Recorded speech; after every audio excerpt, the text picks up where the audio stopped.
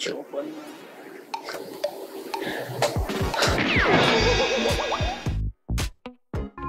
最近怎么样？那他在忙什么？一样啊，忙研究。金马影帝莫子仪在电影《冥冥》中饰演工作狂天文学家，和妻子邓九云渐渐无话可说，面临婚姻危机。小莫哥，你拍这部片的时候已经结婚了？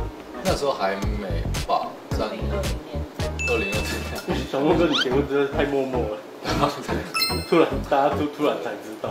结婚这件事情就真的是，呃，两个人要去共同经营一个新的家庭，他可能就是要陪着你走下半生的亲人、家人。以前不管是单身还是有女朋友，可能都是以自己思考出发，但是结了婚之后，真的会比较想说，哦，家庭就是两个人，或者是说我们的未来。这个我忘记了，我好像没有，你是被 没有没有没有了，有共识？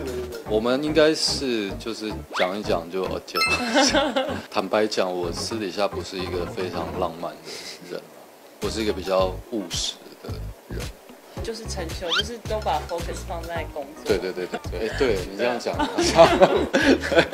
哦，难怪导演会找我演这个角色。我其实也会自我警惕，说，譬如说我结婚五年、十年之后会不会变这样？婚姻一开始，也许我们都有很好的想象，然后都有很好的憧憬，但是会不会三五年之后你就被打回原形？结婚之后，我很佩服那些同样演艺圈那些有小孩的朋友们，他们同时兼顾事业、家庭。不久前，那个温升豪才跟我聊过一件事，他其实会很羡慕，就是像我们没有小孩，然后可以完全投入一个角色当中。因为现在他有小孩要顾，可能每天的行程你不是完全为自己，甚至说为角色。我想为自己笑。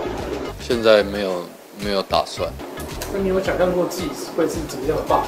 我应该会蛮慌乱的吧，我想。你会跟小孩娃娃音吗？我不知道。好难。跟你的猫怎么互动？